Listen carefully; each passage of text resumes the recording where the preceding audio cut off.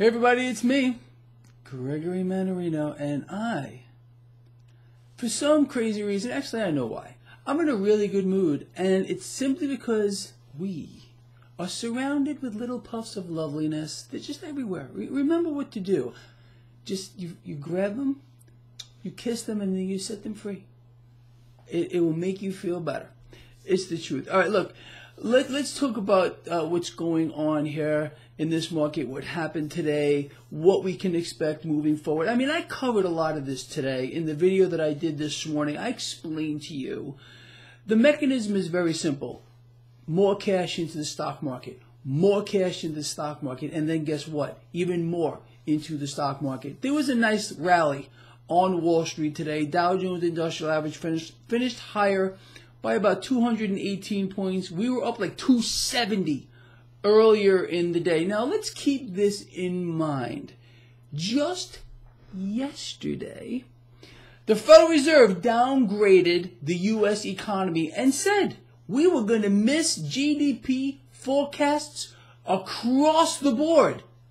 But they promised no rate hikes for 2019. That means more easy money, more rate suppression. Again, there's the disconnect between the economy. They're telling us economy is slowing. We're downgrading the economy, um, but we're going to keep the easy money going. So the gap is going to get greater and greater. Our economy is going to slow down, and stocks are going to do this. They're going to be they're going to deviate. You understand? This is going to get in the way of some of the little puffs of loveliness around us, but they'll just move out of the way because we do not want to hurt them. You know that. So anyway, uh, in, in, all seriousness, we get a downgrade in the economy, uh, but the Fed promises more easy money. This should make it clear to you that the most powerful institutions on this planet and the ones that are running the entire show are the central banks. Remember, presidents, kings, queens, monarchs, whoever they are, they will bow down and kiss the rear end of every single Federal Reserve president and the chairperson. You see what they do. When, any politician, uh, you know, when they have to question a Fed chair, it's like, thank you for your service. Can I kiss your ass? And, uh, you know what? We're just going to leave it there. Because th- that's the truth here, people. It's unbelievable. So, um, by the way, you're never going to believe who I talked to today. Yeah, Stephen Beckner. Remember the guy who talked to uh, Fed Chair Powell yesterday? I told you he was my new best friends, and we actually are friends now and I'm glad to know you, sir. I directed him to the video that I did yesterday. I think he got a little charge out of it. Uh, so uh, let's welcome Stephen Beckner to our, our, our sphere of lions and friends. And I love all of you. It's the truth. Look, let's talk about this um, because you already know, but let's put an actual, let, let's just put it out there. The real reason why the Fed is not raising rates um, for the entire year is not because they believe that inflation is in check. No, they told us. They told us straight out the reason. Our economy is slowing, and we're going to miss GDP forecasts. So here comes the easy money, piles of it. And the distortions between the economy and the stock market are going to continue to move in opposite directions. Um, this is the these are the facts, and there is no other freaking way around it.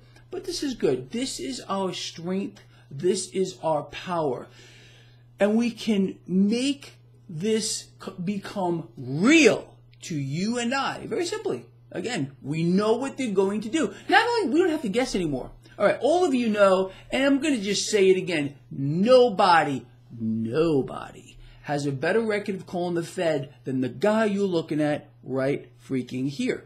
Nobody, anywhere. Mainstream media, YouTube, pickets, I'm the man. I am the man when it comes to calling the Fed. Uh, but we no longer have to guess anymore. They already t- they told us what they're going to do. There's no speculation about rate hikes. The next move, more than likely, is going to be a cut. All right. So th- that's going to be what we're gonna, what we're going to speculate on whenever it comes up. But for now, it's so simple. Uh, we just we're going to bet against the debt, become our own central bank. They cannot stop printing. They cannot stop suppressing rates. They're going to go negative. We're going to get negative rates here in the United States. I mean, it's everywhere. It's inescapable. Uh, uh, it's, it's simply too much. And with regard to this market, like I outlined in the video earlier, more cash into the stock market. The Fed is going to make sure that's exactly where it goes. It's a deliberate act to hyperinflate the debt market, hyperinflate the stock market, uh, and, and, and that's, that's it. It's so simple. Now, specifically, what this guy is looking at here, what do we know about the major indices here for you lions out, out here? Well, the small caps have been have been the laggard here, um, and I, have been alluding to the uh, ticker IWM for a while now. I am still not in anything. I am getting conflicting indicators all over the place. I don't like conflicting indicators. Neither should you. You want all of these lovely things to align.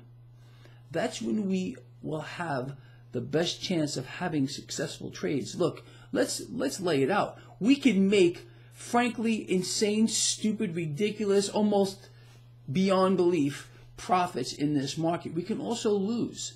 Now, we don't want to do that. We want to minimize any potential losses and maximize our potential gains. Now, I outline all of this for you in in all of my 100% free briefs that you can get today, right now, from my website, traderschoice.net. There is a lovely link in the description of this video. I would suggest getting your copy. Why not? There are tens of thousands of people all over the world that have them, and they're really free. So get yours. Um, so let's we're going to keep our eye here on the Russell 2000 ticker IWM. Um, I'm really honing in on this at the, uh, right now. Um, forget about this market dropping, people. Um, I know how badly you want to short this market. I know how twisted it is. I know that it doesn't make any sense. It doesn't make any sense.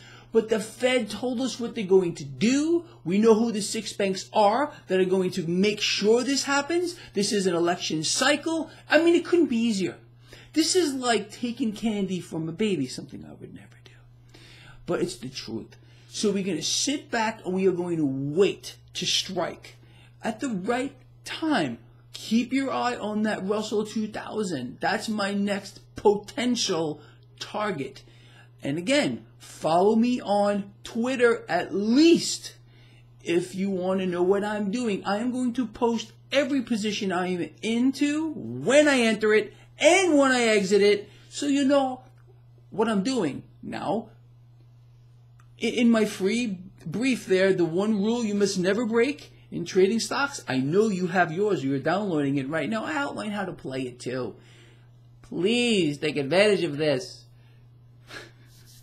anyway, um, so let's all wave to our new friend, Stephen Beckner. Stephen, man, you got guts. Guts to see what you said to uh, it yesterday. I know you know who it is now and I am glad to have you as a friend. And now that we're friends, we're friends with everybody because we're all just one big, happy, lovely family. It's the truth. All right, look, uh, I hope this has been informative, important to you, uh, makes sense to you, uh, making sense of the bizarre, twisted uh, world that we are now living in and, and we're going to rip its face off beyond the point of recognition. It's going to be so beautiful, and I'm so happy to do that with all of you. All right, I'm out of here. I'm talking too much. See you in the morning. Over and out.